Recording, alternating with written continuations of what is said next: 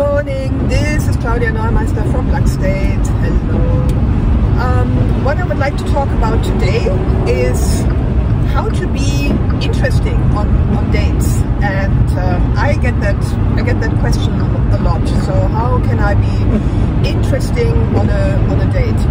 And uh, a lot of people think that um, if they if they are leading a normal life, that they are not an interesting person. That only people with exotic um, exotic lives are, are interesting. That is simply not the case.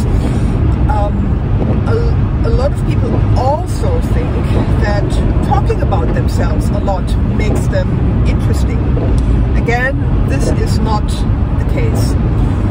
The way to be interesting to another person is to be interested, and that is um, that is really the, the secret. If you are um, a, a good listener and if you make the other people, the other person feel heard, heard um, make them feel that uh, you are truly interested in them as a person, um, then you are automatically also interesting.